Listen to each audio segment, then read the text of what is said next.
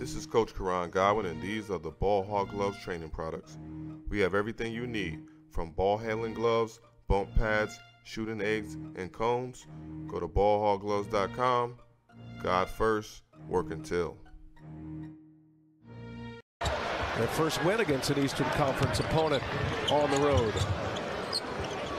Grimes will let it fly. Got that side stroke. Looks a lot like Kenny Smith in the air. Approaching the five minute mark of this first quarter.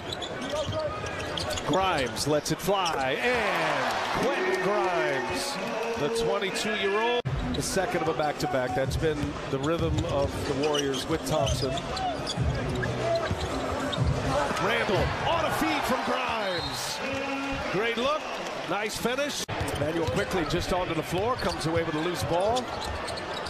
Sharing it well and quickly makes an impact right away. He's Well, not been shooting well.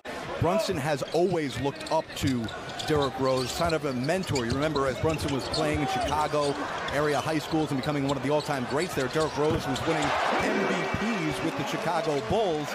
All the little things for your team.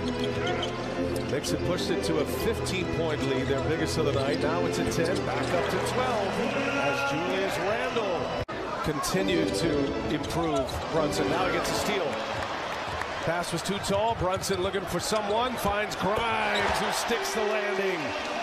Well, they're the best half-court team. He's only shooting 43% from them this season. And again, it continues to be a layup and a big body. This is a big team. With Robinson and Stein, Jericho Sims.